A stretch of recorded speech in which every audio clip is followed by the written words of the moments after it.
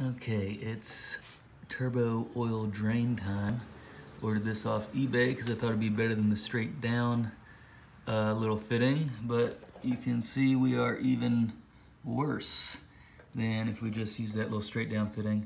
So that means we'll have to uh, modify this. So this is half inch, bought off eBay, half inch uh, pipe thread, so it is tapered into this little uh, channel. So what I'm gonna do is cut this off right here somewhere and make it a lot thinner, smaller, um, and then re-tap the threads, hopefully get it somewhere close to where that 45 elbow is pointing towards the uh, tube and the, uh, the bung and the oil pan.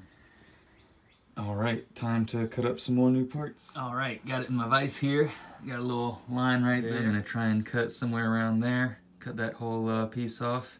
Um, pretty sure this is aluminum, so need to wear a respirator or some type of mask or something because that stuff's pretty toxic when you cut it. All right, got it cut off, cleaned up a little bit, and also drilled a hole through the uh, 2x4 behind it. I'm just gonna try and run a tap through it. I'm not sure which drill bit size it's supposed to be.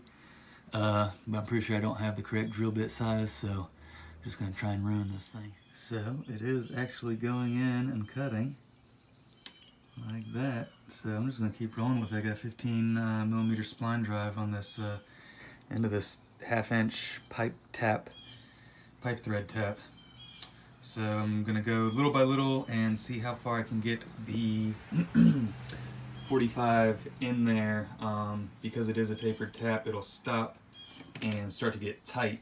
Um, so I want to make sure that when it does get tight that it's angled over to the side and towards the bung oil. Alright, so I only got a couple threads cut so far and you can tell that it's nowhere close to where I need it to be. Um, the hole's getting pretty tight, uh, the tap's getting pretty tight in the hole so it's uh, I might need to drill it out or figure something out because I think it's just gonna be uh, it's just not gonna go it's not gonna cut the metal out as well. I was also thinking about maybe cutting off some of the threads on the elbow and then re-threading that, but uh, because of the tapered fit, even if I did cut them off, I wouldn't be able to get the tap down far enough to get the threads to a smaller uh, diameter whatever to get it even in there.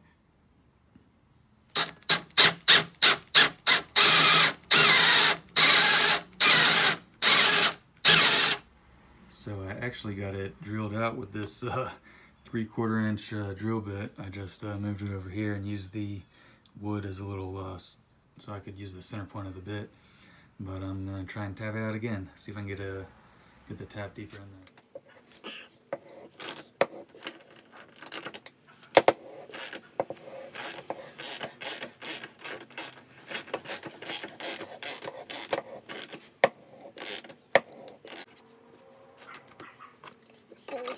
see if we're anywhere close. I think we are closer. I might actually just see what it looks like on the turbo.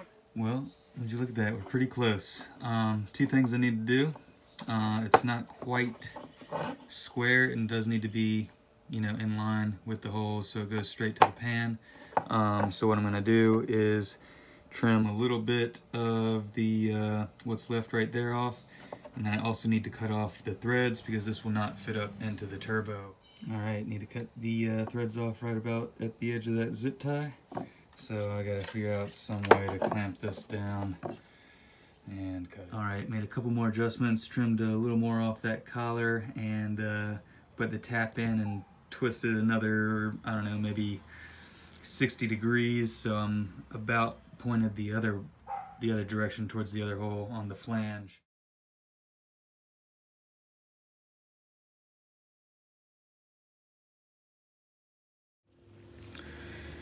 All right, we have our modified eBay oil drain flange with uh, 45 degree elbow. Uh, that's about finger tight right there. I cleaned up the top of this so that it wouldn't touch or interfere with the uh, bottom of the turbo. So I'll probably need another, I don't know, however many degrees that is to tighten it. Um, hopefully that'll help seal it. I am going to use some of this uh, copper gasket maker. I'm just gonna smear it all over the threads. Mm, you know what? I'm not even gonna use the tube. I'm just gonna smear this on the threads. Now I think there is some like specific oil resistant sealant type stuff for high temperatures that you would be able to use here, but I'm not going to go out and buying any buy any more sealants or wait for something to never come in the mail. So we're just gonna run it. I'm just gonna put it in. Of course I can't get it threaded now. Oh, come on, you. All right, threaded. Sealant should be good. That's finger tight, so I just, now I just want it aligned with the hole so it's pointed directly towards the bung in the oil pan. Oh, it's close. Oh, look at that. Nice and tight, lined up with the hole. Should point directly towards the bung in the oil pan. Got a little bit of sealant in there as well. Maybe that'll help seal it, maybe it won't. But this should be a pretty easy fix uh, even after it's on the car. So let's put this okay. on. Okay, we are getting pretty close here. We got the uh, gasket on in between the flange, got two bolts through. Um, I did cut this three quarter uh, pipe, um, rubber hose, whatever, once, and I tried to put it on, and you can kind of tell when I bend it up, it's just about maybe a quarter inch too long. I did cut it at an angle as well. Uh, hope that would help as well. But it looks like I need to take about a quarter inch off because um, when I did put it on, it was about, I can't see that from the lighting, but it's almost to the, all the way to the pan and uh, it had a bad kink in it. So uh, I do need to trim some off. I'd rather have it be a little short um, on both sides uh, than be too long and kink and then hold. All right, so I did trim the hose, trimmed a little more, maybe, what is that? Quarter inch, half inch. But it's on, no kinks, looking right into the light, but I did clamp it down. I still need to uh, tighten the bolts for the flange on the outlet. Not the most ideal drain, um, but until I can come up with something better, this is at least gonna get the car running, hopefully.